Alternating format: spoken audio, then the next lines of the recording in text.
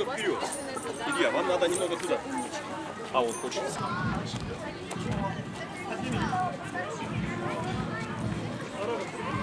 Дедушка у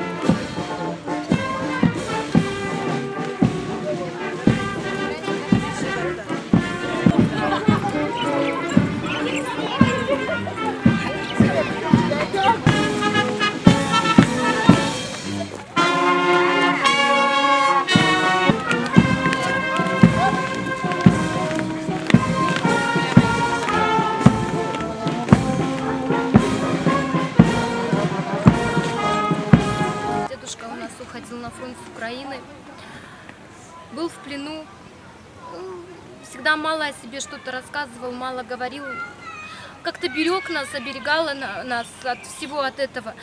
А, Благодаря ему мы сейчас живем в таком мирном, в добром мирном мире, и победа это его победа, это наша победа, это общая победа. Бабушка а, всю войну на военном заводе, на Тульском военном заводе она у меня работала. Я могу только спасибо сказать за эту победу, за то, что они сделали для нас.